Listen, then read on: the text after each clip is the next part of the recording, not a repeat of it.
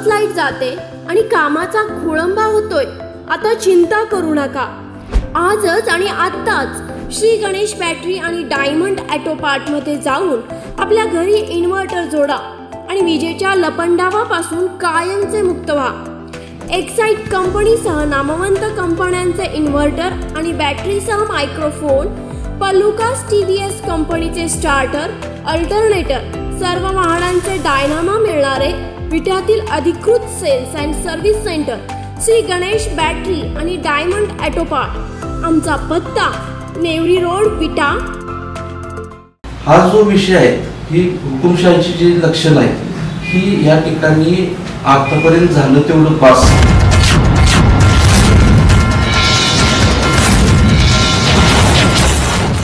एवढं मी ठरवलेलं आहे तिथनं पुढे जो काय माझा काही परिणामाची न विचारता जे येणाऱ्या काळात विटेकर नागरिकांवर जिथं जिथं अन्याय होतोय तिथं तिथं उभा राहायचा संकल्प या ठिकाणी केलेला आहे.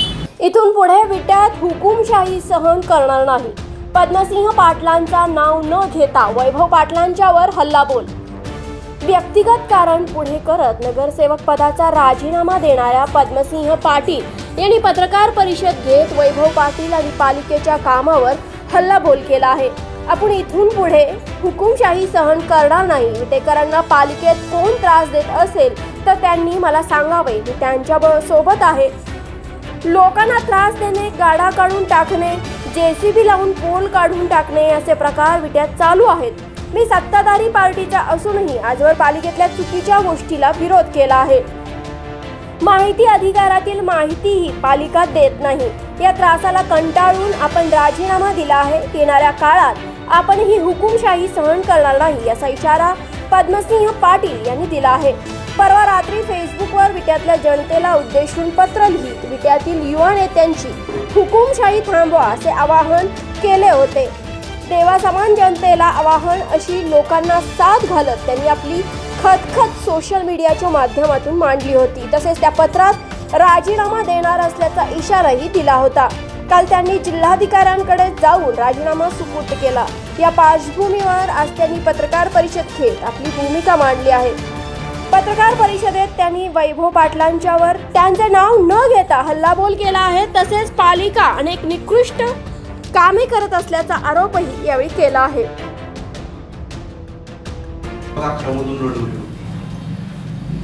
मला सर्व विटेकर नागरिकांनी प्रभाग क्रमांक अकराच्या जनतेने बहुमताने निवडून दिलं व स्वीकारलं होतं.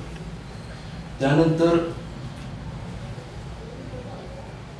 प्रभागातील विकास कामांचे जे काही मुद्दे असतील जे काही प्रश्न असतील जे काही नागरिकांची वेळोवेळी मला फोन येत राहतील त्यानुसार काय रस्त्याची कामं गटरीची कामं काय पा पिण्याच्या पाण्याची सोय असेल अशी मी त्या ज्या त्यावेळेस अर्ज देत राहील परंतु हे अर्ज देताना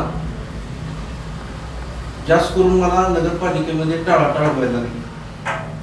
आणि काय मंजूर काम असताना जे दोन हजार सतराच्या साली वर्क ऑर्डर झाले परंतु दोन हजार अठरा एकोणीस पर्यंत मी थांबलो पाठपुरावा करत तरी त्या कामांची सुरुवात झाली नाही. आणि दोन हजार एकोणीसला मी त्या पद्धतीने काम करून घेतलं. म्हणजे ज्या कामांची तांत्रिक मंजुरी झाल्या प्रशासकीय मंजुरी झाल्या तिथे एक दोन दोन दोन वर्ष काही गरज नसताना कामं थांबवली गेली. आणि झालेली कामं ही पूर्ण निकृष्ट दर्जाची झालेली आहेत. म्हणजे अगदी तुम्हाला सांगायचं झालं डिटेलमध्ये तर ठेकेदारांची बिलं लॅब टेस्ट केलेले मी स्वतः डिप्लोमा सिव्हिल इंजिनियर आहे. मला थोडं त्यातलं टेक्निकल माहिती आहे. तर काय रिपोर्ट त्यांनी काय कॉलेजची इंजिनिअरिंग कॉलेजची लॅब रिपोर्ट आणली बिलं काढली. एम ट्वेंटी दर्जा असणारी कॉन्क्रीटची बिलं काढली. परंतु एम ट्वेंटी दर्जाचं कॉन्क्रीट म्हणजे जवळजवळ आपण बिल्डिंग बांधतो त्या दर्जाचं कॉन्क्रीट त्यानुसार बिलं काढली. पण माझ्या प्रभागातल्या विट्यातल्या तुम्ही काय गटरे बघा रस्ते बघा. कॉन्क्रीट करण्याचा रस्ता झाला की एक वर्षात होऊन जातोय. नगरपालिकेचे जे गटर आहेत ते बाजूनं काय जड वाहतूक गेली की स्लॅब तुटला जातोय म्हणजे अतिशय निकृष्ट दर्जाची कामं या ठिकाणी झालेली त्याचा याचा मी खुलासा करण्यासाठी माहिती अधिकाराचा वापर केला. माहिती अधिकाराचा बरेच वेळा अर्ज दिले. त्याचा मी वापर केला. एका माहिती अधिकाराच्या मुद्द्यामध्ये तर मी सोळा मुद्दे टाकून नगरपालिकेला विविध नमुन्यात अर्ज दिलाय. पण नगरसेवक जरी अर्ज देत असले तर त्याचं गांभीर्य त्यांना दिसून येत नाही. त्यांनी एक प्रकारचा मला खुलासा केलाय जर मी पत्र सोळा मुद्द्यांचं तुम्हाला मी देऊ शकतो. की सोळा मुद्द्यांचं मी पत्र दिल्यानंतर नगरपालिका लिहून देते आपणास याद्वारे कळविण्यात येते की माहिती अधिकार कायद्यानुसार विहित नमुन्यात अर्ज सादर करावा म्हणजे माहिती देणे सोयीची होईल. म्हणजे विहित नमुन्यात दिलेल्या अर्जाचे सुद्धा ते अशा प्रकारचे उत्तर देतात. ही अतिशय दुर्दैवी गोष्ट आहे. त्यानंतर स्वच्छताचा विषय मध्यंतरी स्वच्छता करायचा होता मी त्यांना प्रत्येक मिटिंगमध्ये सांगत आहोय की नगरपालिकेचं मूलभूत काम आहे. रस्ता पाणी स्वच्छता ही पुरवणं. आणि त्यासाठी आपण घरपट्टी घेतोय पाणीपट्टी घेतोय. पण सेपरेट स्वच्छता कर पण आपण विटा नगर परिषद वसूल करते त्यानंतर सुद्धा घनकचरा व्यवस्थापन कर तिने लावण्यात आला. मी त्याचा पाठपुरावा केला. पण काय तांत्रिक गोष्टीमुळं किंवा अपुऱ्या संख्याबळानुसार तो मुद्दा मागे राहिला तो त्यांनी मिटिंगला मंजूर केला आणि या करांमध्ये वाढ करण्यात आली.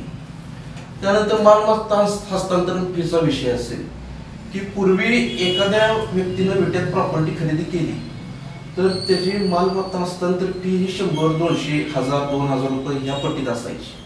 पण त्यांनी तो नियम बदलला आणि अशा प्रकारचं चालू केलं की जो काही दस्त ज्या रकमेचा झालाय त्याच्या एक टक्का तुम्ही नोंदणी फी दिली पाहिजे नगरपालिकेला. म्हणजे एखाद्यानं दहा लाखाचा एखादा विट्यात फ्लॅट घेतला असेल तर पहिलं जे काम पाचशे हजार रुपये होत होतं ते आता एक टक्क्यानुसार दहा हजार रुपये नागरिकांना द्यायला लागले. मी त्यांना तोही जाब विचारला प्रत्येकाला की नगरपालिकेत तुम्ही अशा प्रकारची वसुली कशासाठी करताय? आणि त्याचा योग्य उपयोग त्या पैशाचा होत नाही. त्यानंतर मी दुसरा एक मुद्दा उचलला होता की दोन हजार अठरा एकोणीस अर्थसंकल्पात नेत्र रुग्णांसाठी खर्च करण्याची तरतूद धरा. पाच लाखाची तर तरतूद धरण्यात आली. अठरा एकोणीस आर्थिक वर्षात परंतु एकोणीस वर्ष एकोणीस दोन हजार एकोणीस वीस हे वर्ष आलं तरी एक रुपये त्यामध्ये खर्च करण्यात आलेला नाही. नेत्ररुग्णांसाठी केलं. त्यानंतर आवाज उठवल्यानंतर थोडाफार खर्च अपंग व्यक्ती दिव्यांग व्यक्तींसाठी केला गेला. पण तोही पूर्ण क्षमतेनं केला गेला नाही. माझं एवढंच म्हणणं आहे की तुम्हाला जे काही कर तुम्ही भरमसाठ लावताय लोकांना तुम्ही जास्त मोठ्या प्रमाणात कर लावताय. इतर नगरपालिकेच्या तुलनेनं आपल्या विटा नगरपालिकेने नक्कीच तुम्ही सर्व माहिती घ्या कर जास्त आहे. ह्याचा कराचा आलेला पैसा ही नको त्या निकृष्ट कामामध्ये खर्च करून आणि नको ती मंदई सगळं खाण्यापेक्षा तुम्ही अपंग व्यक्ती दिव्यांग व्यक्ती यांना पत्ता चालू करा. यासाठी खर्च करण्यात यावा. ही मी या ठिकाणी प्रत्येक वेळी सांगत होतो. दोन हजार सोळाला नवीन बॉडी स्थापन झाली नगरपालिकेची. लगेच दोन चार महिन्यामध्ये पाचशे रुपये पाणी कनेक्शन वाढवण्यात आलं. त्यानंतर दोन अडीच वर्ष होते नव्हते. डायरेक्ट पाणीपट्ट्यामध्ये चाळीस टक्क्याची वाढ करण्यात आली. तिथंही माझा विरोध झाला. म्हणजे जनतेसाठी जिथं जिथं सत्तेत मधला नगरसेवक असून सुद्धा मी आवाज उठवण्याचा प्रयत्न केला एक वेळ विरोधी नगरसेवकांना आवाज उठवणं सोपं असतं पण सत्ताधारी नगरसेवक असून सुद्धा चुकीला चूक म्हणणं ही खूप अवघड असतं. आणि ते या ठिकाणी मी जनतेसाठी करत राहिलो.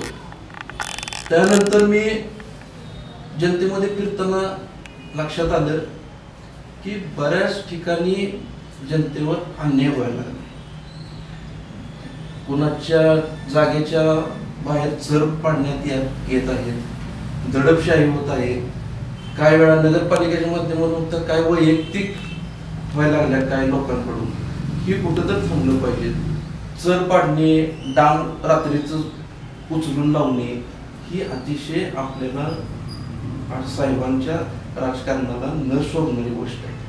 आणि याचं उदाहरण द्यायचं झालं तर मी माझ्या दलित मित्र अमोल भिंगर देवींचा गाडा पंपाच्या शेजारी वडापावचा लावला. आम्ही सर्व मित्रांनी वर्गणी काढून त्यांना वडापावचा गाडा लावून दिला. त्याचं दोन तीन दिवस चांगल्या प्रकारे व्यवसाय चालू होता. त्याचं पोट त्यावर चालत होतं. पण माझ्याच ते मी नाराज पडला. आणि काही लोकांनी आम्हाला न विचारता तुम्ही तिथं का गाडा लावलं? त्यासाठी त्यांनी एखादी नोटीस दिली नाही काही टाइम दिलं नाही. रात्री अचानकपणे जी सीबीनं गाडा उचलून क्रीडा संकुलवरून नेऊन टाकला. नुसतं न टाकता त्याची तोडफोड केली. हा जो विषय आहे ही हुकुमशाहीची जी लक्षणं आहेत ही या ठिकाणी आतापर्यंत झालं तेवढं पास. एवढं मी ठरवलेलं आहे. तिथनं पुढं जो काय माझा काही परिणामाची न विचार करता जे येणारा काळात विटेकर नागरिकांवर जिथं जिथं अन्याय होतोय तिथं तिथं मी उभा राहायचा संकल्प या ठिकाणी केलेला आहे. आणि बांधकाम परवाना असो काही जणांचं येणे अंतिमची कामं असो आज मी गॅरंटीनं सांगतो की प्रत्येक विटेकर नागरिकांनी विचार करावा की तुमचं सरकारी चलन आ- निघतं किती येणे गोंटेवारी आणि तुमचे अंतिम होण्यासाठी? आणि तुम्हाला द्यावं लागतात किती? त्याचा तुम्ही ही तुम्हालाही लक्षात आले आलेलं आहे. पण विट्यातली जनता सुज्ञे फक्त दहशतीखाली आहे आणि काय बोलता येत नाही. त्यामुळं इथनं पुढं वाचा फोड फोडण्याचं काम मी करणार मी त्यांना होता होईल तेवढं. न्याय द्यायचं काम करणार आणि मी स्पष्ट सांगतो नगरपालिकेत जनतेचं कोणतंही काम जर अडत असेल तर इथून पुढे मला सांगा हा तर मोसे पाटील तुमच्या बरोबर येऊन नगरपालिकेत काम करून देईल. आणि जिथं रोखटोक भूमिका घ्यायला लागेल ती तुम्ही घेत आणि मी सर्व ह्या झालेल्या जो अन्याय आहे, जो काय नागरिकांना झालेला त्रास आहे आणि जो काही विकास कामात केलेला विलंब आहे या सगळ्या घटना लक्षात घेता मी ह्या ठिकाणी निषेध म्हणून राजीनामा काल कलेक्टर साहेबांकडे दिलेला आहे.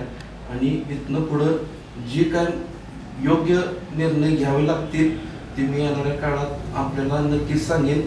आणि शेवट एक आठवण करून देतो. अठ्ठावीस वर्ष लोकनेते हनुमंतराव पाटील साहेब नगराध्यक्ष होते. पाच वर्ष आमदार होते. पण त्यांच्या कालखंडात कधीही कुठे डाम पाडणे सरी पाडणे येणेगोटेवाऱ्याच्या फायली दडपणे काय विलंब करणे हुकुमशाही करणे कुणाचा गाडा उचलणे फोडणे असलं झालेलं नाही. तिथनं पुढं सहन करणार नाही.